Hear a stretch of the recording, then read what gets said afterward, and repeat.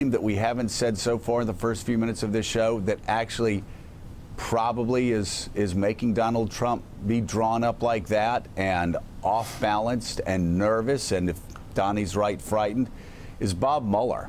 Uh, Bob Mueller is moving forward while Donald Trump uh, golfs for 17 days straight. Bob Mueller is not golfing. Bob Mueller is working.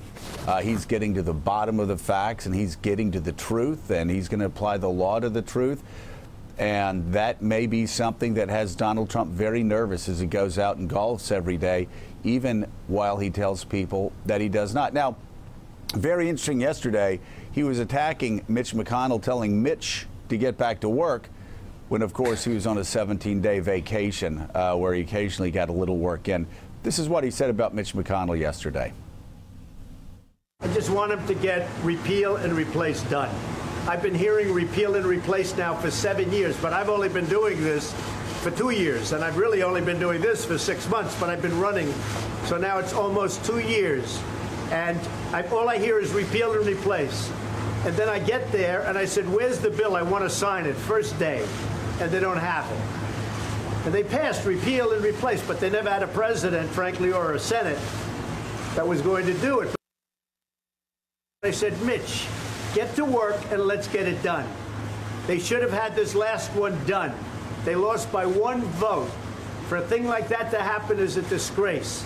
And frankly, it, it shouldn't have happened. That I can tell you. It shouldn't Senator have McConnell considered stepping down as majority leader. There's some conservative uh, analysts, including Sean Hannity, say it's time for him to retire. Well, I'll tell you what, if he doesn't get repeal and replace done, and if he doesn't get taxes done, meaning cuts and reform, and if he doesn't get a very easy one to get done, infrastructure, if he doesn't get them done, then you can ask me that question. It's unbelievable. He's blaming Mitch McConnell and the Republicans for not passing a health care bill while he was doing absolutely nothing but getting in the way making it more difficult, insulting House members, saying that their bill was mean, going all over the place, changing his positions every day. And he did. One week we counted Kasie Hunt that he changed his position three or four times. My gosh, Mitch McConnell, Paul Ryan, and the Republicans on Capitol Hill must be steamed right now at Donald Trump. What's the reaction?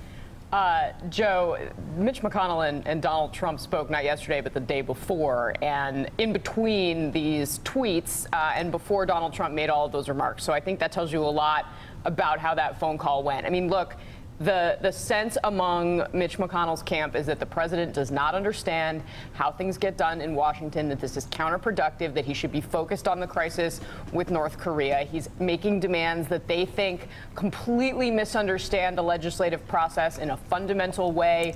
His calls to change the filibuster to 51 votes, they only needed those 50 votes. They couldn't get 50 Republicans on health care. You're right, he's changed his position back and forth. He was never clear, this is what I want the policy policy to be. He's not out there selling it. And when he tried to get involved, he did things like have his Interior Secretary call Lisa Murkowski, a vote they thought was gettable, uh, and, and, made her so angry that there was no way she was going to come back around uh, and vote that way. So, you know, I think there is a real risk for President Trump here because he does need, and there's a feeling among uh, McConnell's team that he needs Mitch McConnell and other Republicans if he's ever going to pull off the things that voters ultimately are going to judge him for. Is he actually able to get anything done?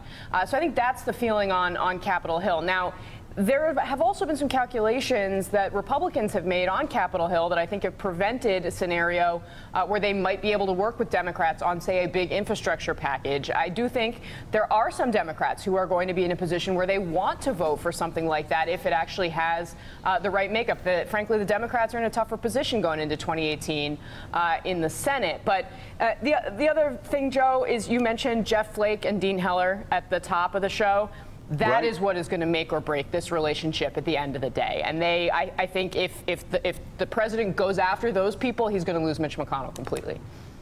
Well, and and he's already started doing that, Elise Jordan, going after, you know, if Bob Mercer is going after Jeff Flake, that's Donald Trump going after Jeff Flake. Same with Breitbart. I mean, I'm not, you know, I had a certain. Um, senator uh, put somebody up against me and denied it a thousand times, but he wanted to keep me busy so I couldn't get involved in his primary. I knew all along, and I never forgot it.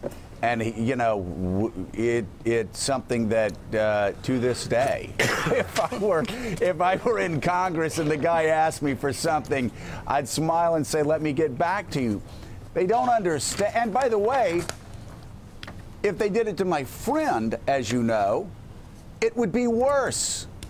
Members come together. And so for Donald Trump to be clumsy enough to, first of all, attack Mitch McConnell, then to threaten Lisa Murkowski, because when you threaten a member, especially a senator, you have you've just told them they, they have to fight back, and she did.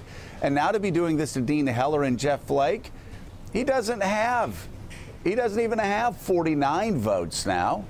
I mean, good luck. I mean, getting 46, 47. It seems, Elise, that every day he's making his job harder. Well, he's just had this attitude of being a wrecking ball coming in through Washington and you know, nothing is going to be sta left standing in the wake of this. And if he wants to have any hope of having any legislative success, he's setting himself up for disaster. And it's just delusional, the idea that he can forge some coalition with Democrats. Why would they have any incentive whatsoever to vote with him, to come with his side, to come to his side? It just is, it's astonishing to me the lack of political judgment that this White House exhibits on a daily basis. Yeah, John Heilemann, what, what is the long term game plan? Have you heard anybody in the administration tell you, hey, listen, we, we're going to keep insulting the Republicans, but we think we can get a bipartisan deal on health care, on infrastructure? Is there any game plan at all?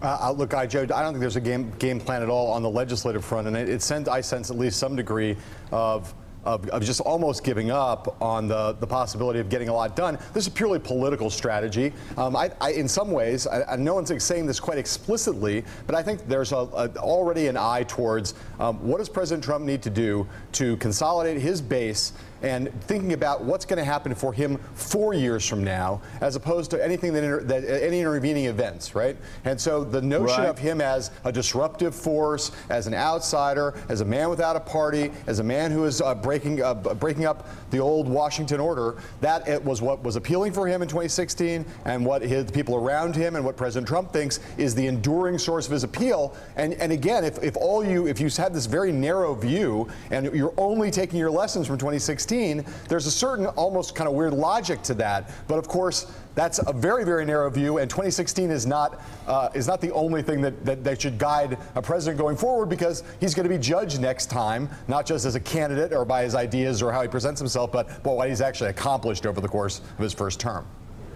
Yeah, he's going to be judged by everything he promised and everything that he didn't deliver. Right. And that base that everybody was talking about may have been 45% on election day or 48%. It's 32, 33, 34% now. Uh, he's, he's got to get things accomplished if he wants that base to grow. Still at on Morning Joe.